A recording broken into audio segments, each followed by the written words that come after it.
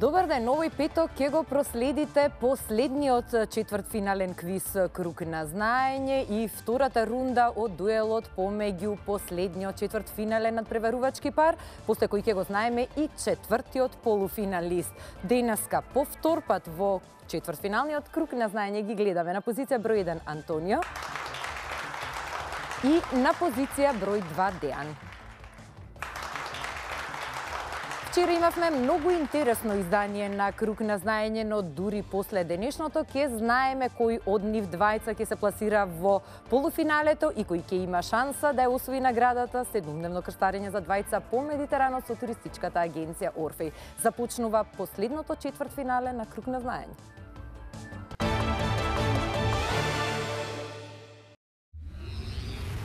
Од осумте четвртфиналисти во полуфиналето веќе се пласираат тројца и таму има место само за уште еден. Дали тоа ќе биде Антонио или Дејан ќе дознаеме после денешниот круг на знаење и сега е најважно како тие двајца ќе одиграат во денешните пет игри после вчерашното издание. Очекувам и денес интересна, возбудлива игра и уште еднаш ќе кажам и овој пат нека победи подобриот. Ја играме првата игра, играта Дане. не.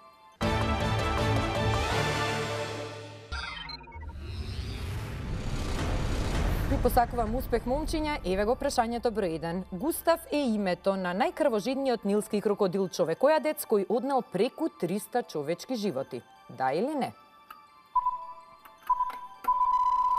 Точниот одговор е да. Името на овој джиновски нилски крокодил го дал зоологот Парти Свеј, кој 12 години го следел и проучувал на северниот брег на езерото Танганика. Иако никогаш не е уловен, постојат повеќе десетици негови фотографии, според кој Густав има околу 60 години, долг е 6 метри и тежи 900 килограми. Се храни со антилопи, зебри, нилски коњи и диви зверови, а има убиено преку 300 луѓе, што му обезбедило митски статус и страв од локалното население. Прашање број 2. Французите ја ослободиле окупираната земја на англичаните со победата во 100 годишната војна. Да или не? Точниот одговор е да. Откако норманите кои владееле со северозападна Франција ја освоиле Англија во 11 век, тие завладеале со цела Англија и дел од Франција. Со ова не се служувале француските кралеви, поради што започнала војна која траела 116 години, од 1337 до 1453 година. Последната фаза од таа војна предводела Јованка Орлеанка, а по победата англичаните биле протирани и била формирана обединета француска монархија монархија на чело со Шарл VII. Прашање број 3. Американскиот физичар Стивен Хокинг докторирал космологија на Универзитетот Харвард, да или не? Точниот одговор е не. Стивен Хокинг е англичанец, дипломирал во родниот Оксфорд, а докторат од областа на космологијата одбранил на Универзитетот Кембридж, каде е основач и директор на Истражувачкиот центар за теоретска космологија. Хокинг боледува од латерална амиотропска склероза, што го прави потполно неподвижен, а со околината комуницира преку специјален електронски уред за креирање вештачки говор закачен на неговиот образ. Прашање број 4. Чилеанскиот нуклеарен реактор Алма, граден 10 години, е најголем производител на струја на светот. Да или не? Точниот одговор е не. Алма е најголем систем на радиотелескопи во светот, поставен во чилеанската пустина Атакама, отворен во 2013-та. Системот се состои од 66 антенски чинии со пречник од 7 и 12 метри, со кои се снимаат емитирани вселенски бранови должини помали од милиметар. Намената на Алма е да собере информации за раѓањето на звездите и да создаде детална слика за создавање на планетите од нашето соцзвездие Млечен пат. Прашање број 5. Озонот е алотропска модификација на кислородот, корисен во горните, но лош во долните делови на атмосферата. Да или не? Точниот одговор е да по еден поени за двајцата. Озонот во долните делови на атмосферата го создаваат азотните оксиди и штетните органски гасови, автомобилите и индустријата. Овој озон представува опасност по здравието на луѓето и предизвикува респиратор... респираторни заболувања. Озонот во горниот слој на атмосферата што го создаваат ултравиолетовите зраци на сонцето е витален за животот, бидејќи не штити токму од истите ултравиолетови зраци. Прашање број 6. Посадата на вселенскиот брод Аполо 11 ја сочинува Нил Армстронг, Бас Олдрин и Фил Колинс, да или не? Точниот одговор е не. Посадата на Аполо 11, првиот вселенски брод што го однесе човекот на месечината во 1969 година, ја сочинува Нил Армстронг, Бас Олдрин и Майкл Колинс. Фил Колинс е пеач и мултиинструменталист кој во музиката се прослави како тапанар на групата Genesis, а успешната кариера ја продолжи како солист, со што стана еден од најпопуларните музичари во историјата со преку 150 милиони продадени албуми. Прашање број 7.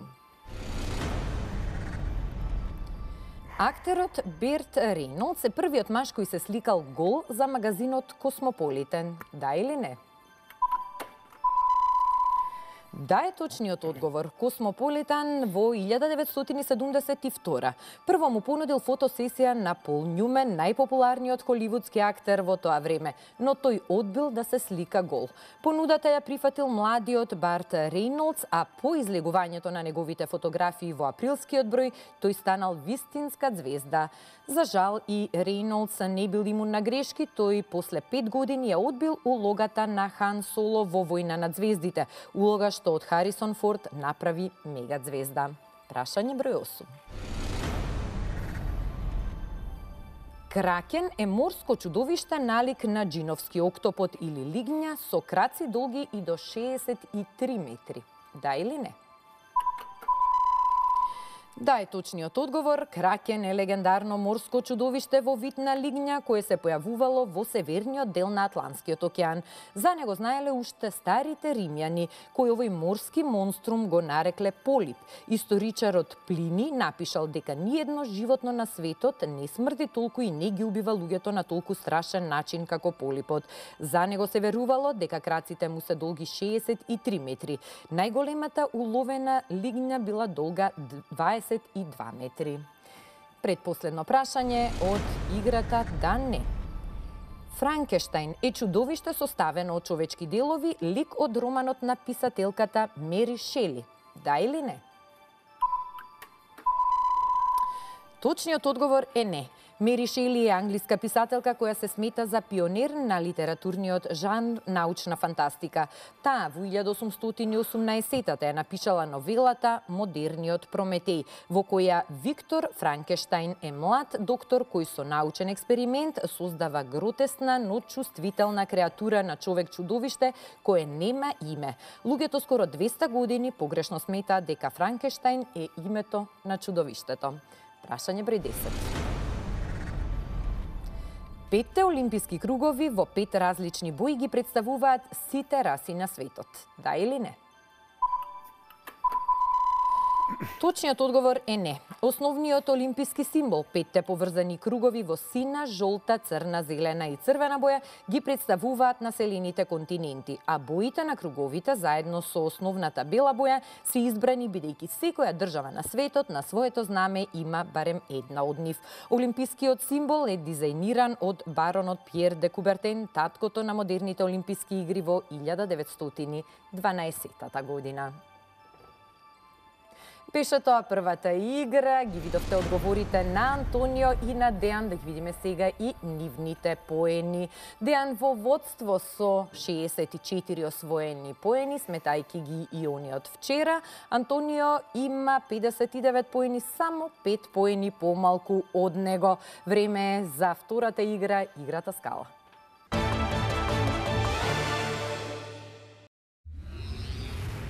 Пред да продолжиме со следната игра, играта Скала, ќе им дадам можност на Антонио и на Дејан уште еднаш да ни откријат за нив нешто што до сега не сме научиле и да ги поздрават оние што заборавиле во сите предходни изданија на Круг на знаење. Антонио, знам дека сте човек со многу широк круг на пријатели и дека постојано ги поздравувавте колегите па, од општина Киселаво. Да должиме ли уште нешто некој?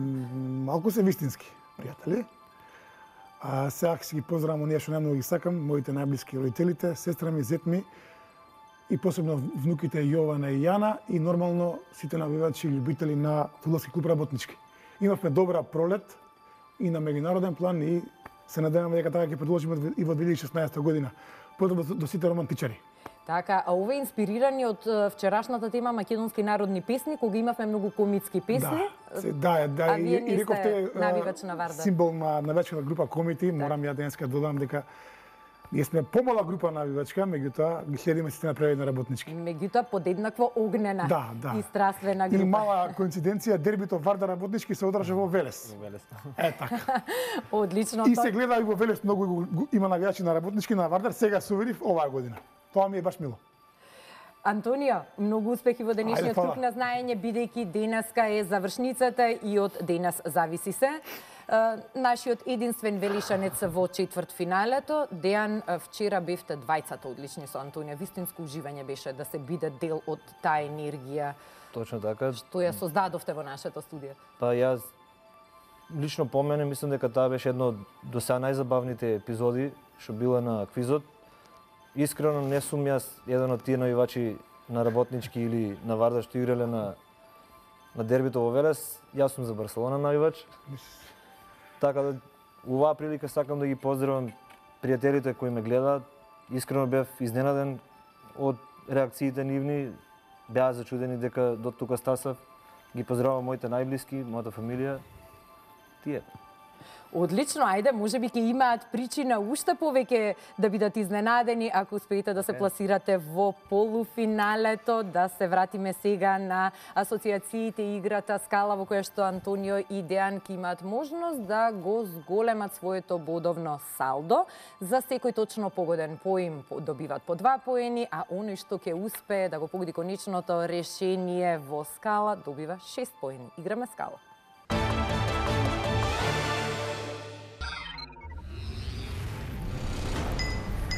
Првата скала ќе започне Антонио. Тони е појдовниот поим. Со, сопрано. Така е, Тони Сопрано. Познатиот лик Тони Сопрано, два поени за Антонио. Антонио ве викаат ли скратено Тони или не? Секој втор. Секој втор, добро. А секој трет Тончи, секој четврти Антонио. Така да тоа е тоа. Добро, тука сме официјални во квизот. Така. Антонио, продолжуваме. М. Сопрано. А понатаму. Дејан МА. Мафија. Така е, мафија, два поени за Дејан К. Капоне. Не. Кум. Логично, кум и два поени за Антонија. Р. А, родител. Не. Не. Дејан. Понатаму. Рег. Антонио? Регуларен? Не. Дејан Реги. Понато? Антонио Регис. Кумот регистрира?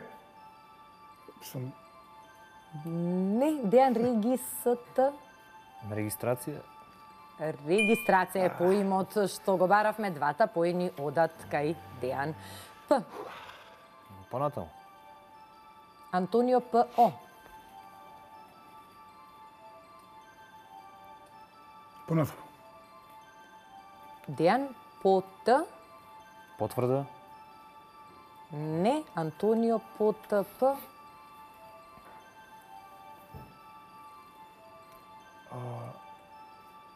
Потпора. Не, Дејан Подпи. Подпис. Па така е, подпис на регистрација се става подпис. Вие двајцата не сте ставиле се уште подпис и затоа не, не го погодивте ова од прва. Добро, тука веќе не навлегувам. П, последниот поим од оваа скала. Сега да не е потврда. Не. Антонио А, П е. печат. Не. Дејан Пена. Пенкало. Така е, пенкало е потребно за да се стави подпис. Тони и пенкало. Ајде да видиме, Дејан, дали ќе се сетите на конечното решение од прв обид? Ајде да пробам. Монтана. Не, А, мина или мини. не. Купувам буква.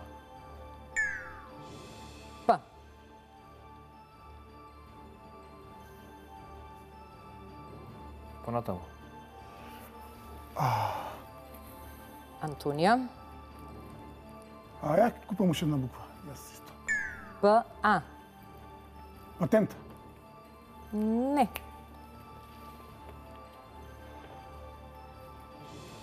Ајде купувам буква. Пар.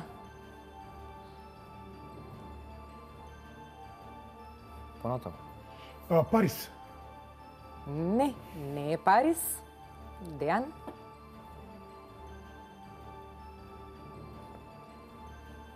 Понатаму. И ја користам право на понатаму. Добро, го искористивте и двајцата тоа право. Сега треба да погодувате или да си купите буква. Дејан, Ајде купувам буква. парк. Паркер. Точно, Паркер е конечното решение, нели познатите Пенкала Паркер и Тони Паркер, познатиот НБА кошаркар, предводник на триколорите, кој што беше избран за најдобар кошаркар на светот во 2013 година, според еден од најтиражните спортски весници во Европа и во Италија, Газета дела Спорта, е многу популарен и како поранешен сопруг на прекрасната Ева Лонгорија, звездата од ТВ серијата Очени домакинки. Време е сега за вториот круг скала. Втората скала ќе ја започне Дејан, зелено е појдовниот поим Дејан. Т. Понатаму. Т е Антонио. Донатаму. Тем. Дејан. Понатаму. Тем Н. Темница. Не. Дејан. Темно. Така е, темно е бараниот поим, два поени за Дејан. П. Понатаму. П. О. Антонио. Поле. Не. Дејан по Д. Подкровје. Не. По Д. Р. Подрачје. Не. Дејан. Подрум. Подрум е точниот одговор. Уште два поени за Дејан. В. М, Визба. Не. Антонио. Вино. Така е. Виното се чува во подрум. Б. Бокал. Не. Дејан. Б. У. Буре. Точно. Буре е поимот што го баравме. Д. Дрвено. Не. Антонио. Д. Р. Дрво. Така е. Бурето изработено од дрво. С. Понатаму. С. У. Суво. Суво дрво, два поени за Дејан. Суво и зелено. Дејан? Проме грозија. Не, не е грозија. Да видиме дали Антонио А, знае. овошје. Овошје е конечното решение, зелено овошје и суво овошје. Антонио и вчера го разби малерот кој што се случуваше во сите предходни четвртфинални изданија на Круг на знаење, затоа што сите четвртфиналисти на вистина се мачеа додека го погодат конечното решение и овој пат, еве, не ви требаше многу, Антонио, за да го погодите конечното решение. И сега да се вратиме на бодовната табела и да видиме каква е состојбата. Дејан во водство со со 80 освоени поени. Антонио има 9 поени помалку од него и ќе има предност во следната игра да ја одбере темата на која што ќе бидат поставени прашањата. Време е за играта слики.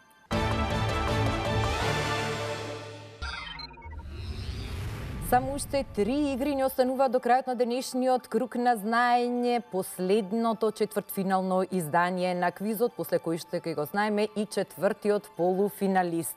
Антонио или Дејан, еден од нив ќе влезе во полуфиналето. Време е сега да ги отвориме шесте теми и да видиме каков избор ќе направи Антонио, бидејќи тој има предност да ја одбере темата. Еве ги темите.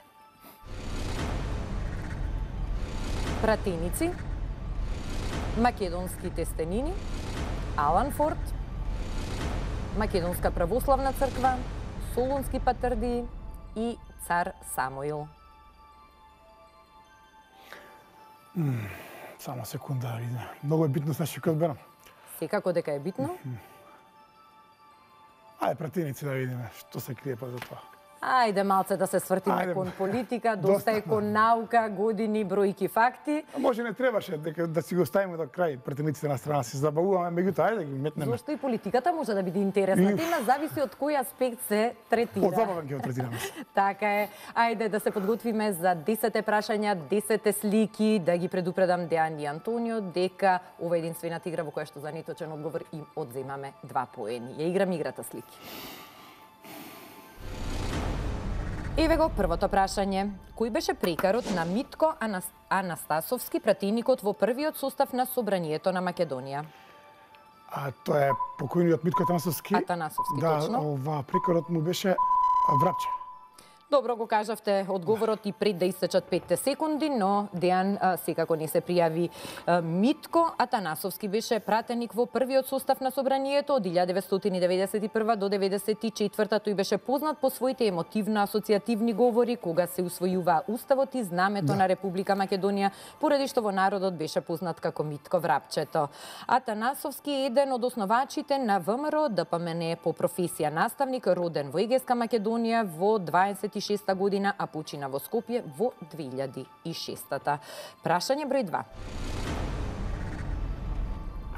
Кој независен пратеник беше најголем амандманџија во собранискиот состав од 90 до 94 година?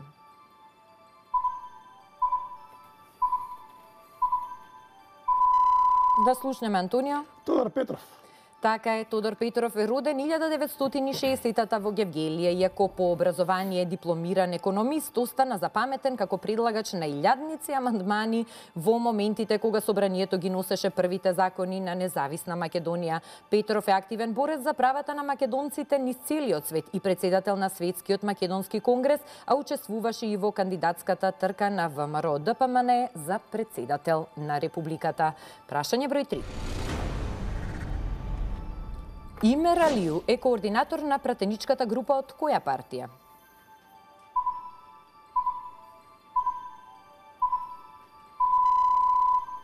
Која Антонио? ДПА.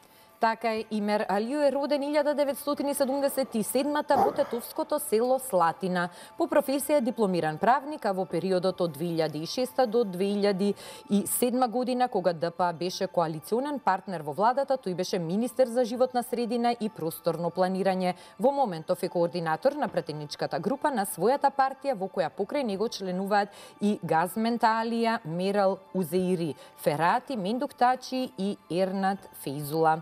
Прашање број 4. Кој наш актуелен пратеник е председател на Собраниската комисија за уставни прашања? Антонија? Трајко Вилјановски.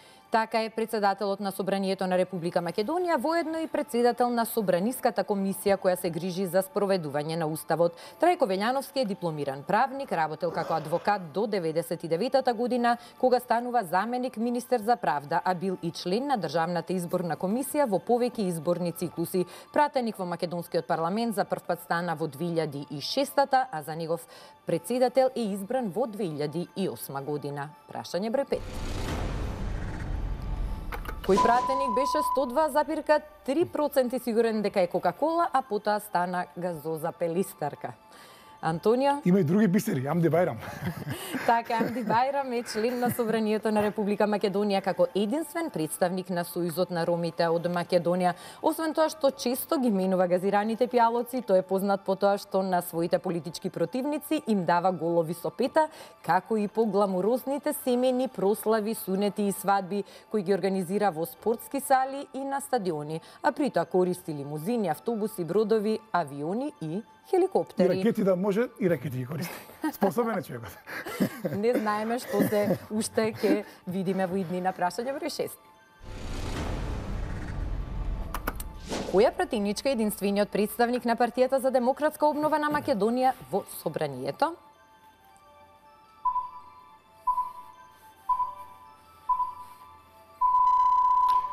Жената се бори за здрава Македонија, ама некако тешко и оди. Лилјана Поповска. Така е, Лилјана Поповска е активист Да. за женското, на женското движење и координатор на македонското женско лоби што се залага за подобрување на положбата на жената во општеството. Таа е дипломиран инженер-технолог и магистар по технички науки. Во периодот од 98-99 беше заменик министер за развој во владата, а од 2003 до 2006 е подпредседател на Собранието на Република Македонија. Прашање број 7.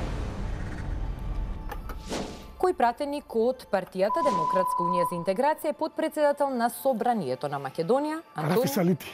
Така е, Рафис Алити е роден во скопското село Радуша во 59 година. Во Скопје завршил гимназијата Зефлюш Марко, а факултетот за физичка култура го завршил во Приштина. Тој е активен учесник во воените операции на ОНА во 2001 кога добива офицерска функција, а прекарот му бил командант Масуси Алити е еден од основачите на партијата ДУИ и припаѓа на незиното интелектуално крило. Осмо прашање. Кој пратеник своеволно се откажа од функцијата министер за надворешни работи во владата на Република Македонија? Антонио? Антонија Милошевски.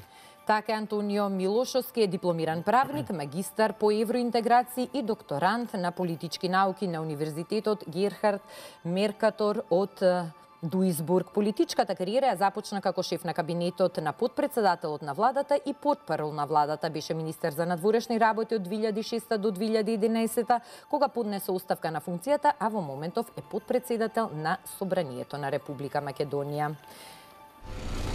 Еве го сега и предпоследното прашање. Пратеникот Горан Сугаревски е собраниски координатор на пратеничката група на која партија?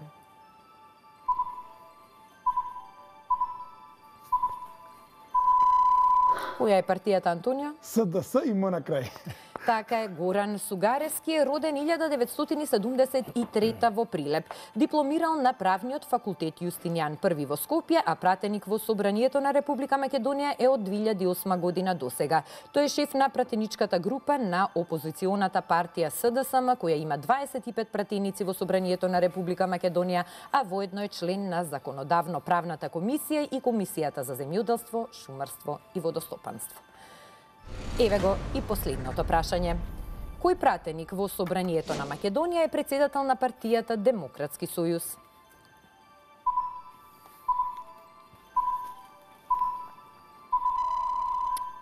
Кој е тоа, Антонија? Павле Трајанов. Така е Павле Трајанов е еден од осумината од МВР кои во 1989 година ја најавија демократската пролет во Македонија спротиставувајки се на службата за државна безбедност да биде инструмент за елиминирање на политичките противници. Тој е дипломиран правник со положен правосуден испит со успешна кариера во Министерството за внатрешни работи каде беше и на местото министер. Во 2000 година формира партијата Демократски сојуз, чиј представник е во Собранието на Република Македонија. Ете дека може да се третира политиката и Ме во некоја во друга емисија, не само во, во вестите, во Ме информативните. врати ја во живот, а бев у негатива. Не верував дека некојаш пратеник ќе ме врати во живот. Дека, дека некогаш толку ќе ви биде значајна политиката и Ме врати во живот, ама уште се борам. Така, Дејан, забележав дека на многу прашања воопшто не се пријавивте. Дали на вистина не ги знаевте одговорите или предпоставувавте дека Антонио ќе ќе даде точен одговор? Па искрено, колку да се активни на телевизија не ги следам, а на тие А кои- некогаш и многу често се ротираат, се менуваат. Така и тие што ги знаев, Антонио сепак беше побрз да да стисне на тастерот и така да секако он ги одговори.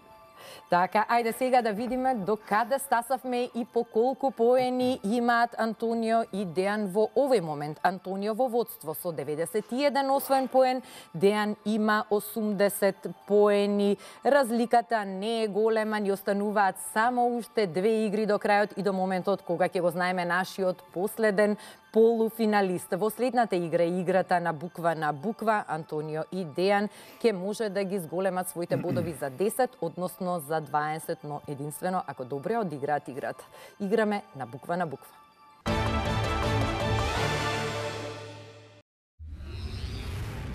Време е сега и за четвртата игра, играта на буква на буква. Прв ќе започне Дејан, тој ќе има можност прв да ги искористи своите 60 секунди за да заработи уште 10 поени.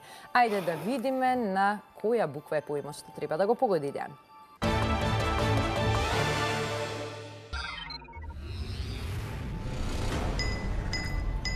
Дејан, погодувате поим на буквата К, 60 секунди стартуваат сега. Круша, Круша. А е на добро место, Р треба да биде на друго место. корпа, Корпа. Р си го најде своето место. карта, Карта. Така е, карта е точниот поим и 10 поени за Дејан во првиот круг од играта на буква на буква. Може би Дејан ќе ја добие картата за седумдневно крстарење по Медитеранот во големото финале кој што ќе се случува на 1 јануари во новата 2016 година, но дотаму е се уште долг патот. Ајде да му дадеме можност сега на Антонио да освои 10 поени во рок од 60 секунди. Антонио, вашиот поим започнува на буквата М. 60 секунди стартуваат сега. Мувла. Мувла. Мувла, да, поимот завршува на буквата А. Мрзла. Мрзла. Не, Р ја има, но треба да биде на друга позиција. Мерка. Мерка. Така е, мирка е точното решение по имот на буквата М што го баравме и Антонио освои 10 поени во играта на буква на буква. Сега Антонио има 101 поен, Дејан има 90 поени, што значи дека се наоѓаме пред големата завршница пред играта Цајтнот, која многу пати во досегашните 100 и неколку изданија одлучуваше кој ќе биде победник во круг на знаење, но во денешниот квиз ќе одлучи кој ќе биде нашиот нов полуфиналист. Време е за Цајтнот.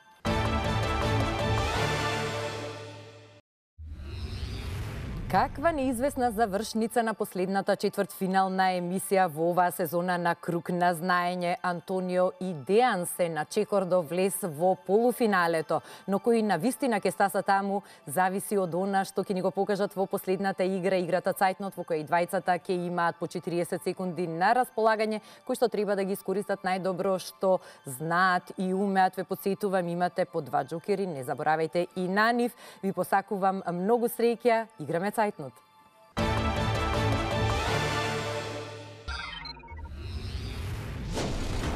Антонио го започнува првиот круг цајтнот. Антонио, кои планини се протегаат на границата помеѓу Франција и Шпанија? Апенините. Антонио, кој името на актерката и професор на ФДУ Меле Стрпкова? Синоличка. Точно. Дејан, како се викаше сопругата на романскиот диктатор Николај. Чаушеску? Елена. Дејан, кој го игра Чичко Кумплук во филмот Самоуништување? Мето Јовановски, Јовица Михајловски. Дејан со што е полно срцето во народната песна како што е таа чаша? со вино, Со јадови. Дејан, во кој месец е фрлена втората атомска бомба? понатаму, Август. Дејан, што има нацртано на собреќајниот знак за известување ресторан? Вилушка и Лажица, Вилушка и нож. Дејан, кој игра главната машка улога во филмот Однесено со вирот? Клер Гебел. Дејан, кој град го основал Александар Македонски во чест на својот конј? Понатаму, Букефалија. Дејан, како на буквата О се вика стапот за сукање кори? понатаму, Оклагија. Дејан, која кошаркарка е единствената македонка носител на олимписки медал? понатаму, Стојна Вангеловска. Дејан, кој дел од динамиката ги проучува силите што настануваат со струење на воздухот? на аеродинамика, Точно. Антонио, што е полиграф? апарат за мелење за, за вистина, за невистина, уствари, за лага. Детектор за лаги. Дејан, кој српски кошаркар играше за Лейкерси, Шарлот Хорнец и. Сакраменто Кинг? Предраг Стојаковиќ. Владе Дивац. Дејан, како се вика синот на грчкиот политичар Георгиос Папандреу? Андреас, но истекоа 40 секунди на Дејан. Антонио влегува во вториот круг цајтнот со временска предност од 29 секунди. Временската предност некогаш е предност, но не мора секогаш да значи подобар исход за оној што ја има.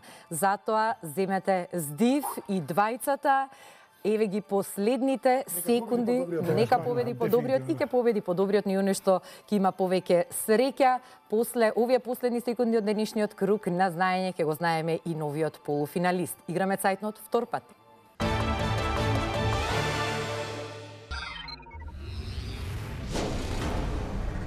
Дејан, кој македонски револуционер се родил на 4 февруари 1872? Гоце Делчев. Дејан, кој поранешен француски фудбалер е председател на. УЕФА. Точно. Антонио, приморската населба Каршијака е дел од кој турски град? Измир. Точно. Дејан, со која епирска принцеза се оженил Филип II? Понатаму. Олимпија. Дејан, за колку Мари станува збор во романот на Славко Јаневски? Седум. Две. Дејан под кој име е познат поглаварот на Лапачите, Гојатлај, оној кој се. Понатаму. Джеронимо. Дејан Гатанка, Билдедов, Слама Лежи. Понатаму. Јајце. Дејан под кој име го знаеме Јонче, Дудуловски македонецот кој најдобро се снаоѓаше со бројките. Јонче Дигитронче. Точно. Антонио кој трговец се занима со купо-продажба на стари предмети и книги. Понатаму. Антиквар. Антонио кој доктор е крал на пудингот. Понатаму. Доктор Еткер. Антонио Гатанка без кора влегува со кора излегува. Леп. Леп. Антонио кој метал е најдобар проводник на електрицитет? Бакар. Сребро. Антонио колку црвени топки има на масата за снукер на почетокот на партијата? Една. 15. Антонио како се презиваат браќата Луан и Вулнет? Старова. Точно. Дејан, како стручно се нарекува ширењето на срцевиот мускул? Понатаму. Диастола. Дејан кој е автор на Петре Кука и дрвчето, Волтер Ленц и Хана и Барбера. Понатаму. Волтер Ленц. Дејан под кој прекар е попознат рускиот цар Иван IV Василевич. Понатаму. Иван Грозни. Дејан со кој спорт се бави Марк Маркес. Мотоциклизам. Точно. Антонио под кој име е позната Светската шаховска федерација. Фиде. Точно. Дејан кој е автор на сликите Вазна со 12 сончогледи и звездано небо. Джокер. Готово е. Ух, Ван Гог, но во Ете, во последен момент Дејан се реши да го искористи Джокерот, секундите брзо летат, јас да на моменти и не знам што се случува и докаде Тоа сме е тоа, да временски. Ама не успеваме. На вистина возбудлива завршница на овој последен четвртфинален круг на знаење. Двајца одлични надпреварувачи. Сакав да кажам на почетокот дека кој да испадне од нив на вистина, ќе ми е жал што ќе го завршиме дружењето со нив. Антонио честитки, вие сте нашиот а, нов и последен полуфиналист. Ќе продолжиме веќе од понеделник со полуфиналните нема да видам одма да здивна малце. Не, малку посериозно. Му честитам на господинот од Велес за прекрасната борба што ја прикажа. Кога ќе победам некој велешенец, малку и мене ми е криво, пошто јас сум потатко од Велес, дури од исто село сме, се најдовме со човекот. Така сентиментално се врзан со тој град, млате, е, нека што да каже, ќе има уште квизове за него. Ќе има. Јас више немам немам сила да зборам, мислам стварно. Ќе барам одмор два дена.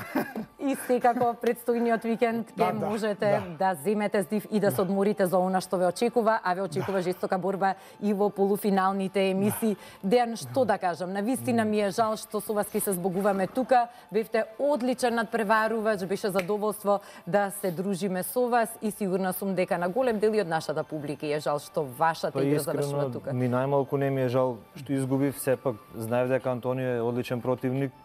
Мислам дека бев достоен противник во двете рунди. И да знаете дека бевте. Некако предосеќав дека, мислам, знам дека има поголемо искуство, ова е мое прво искуство, така да добро и до тука што стасавме. На вистина да е одлично како за, за прво искуство да се стаса и до четврт финалето и посакувам и во следниот циклус да имаме Сигурно. вакви надпреварувачи и дел од сите оние што не успеавте да влезете во ова полуфинале да се пријавите и повторно да седнете. Јас ќе видам, морам да кажам, Така. а, од четворицата полуфиналисти, Само јас сум милионски град Скопје представник. Тоа е тоа сега. Така, па добре, што имаме и еден... Конечно и ние да имаме, дали се брукаме. Така, ви благодарам многу и на двајцата, ви благодарам и вам, почитувани гледачи, што се дружевте заедно со нас. Не забравете дека од понеделник продолжуваме со полуфиналните борби во кои што четворицата најдобри досега ќе го покажат своето знаење, а оној што ќе биде најдобар на крајот ќе патува 7 дена со а, своја придружба по Медитеранот. Имајте убав викенд и се гледаме повторно в понеделник. Кога во, во две емисии ќе одлучи последната игра, докажува дека стварно сум имал еден сериозен противник. Мислам дека бев достоен за него во овие две рунди. Сепак му посакувам среќа во понатамошниот надпревар. Немам збори понатака што да кажам, ми треба одмори и се спремам за полуфиналето. Ќе се пријавам повторно во наредниот циклус. Се надевам на подобри резултати.